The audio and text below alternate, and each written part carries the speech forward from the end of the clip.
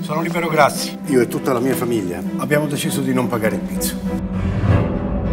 Vi ho garantito che con lei noi non avremmo avuto nessun problema. Fermi tutti, state fermi! Io vado avanti, ci voglio scrivere chiusa perché sarà scocciato, chiusa perché sabotò, non perché lo fecero chiudere.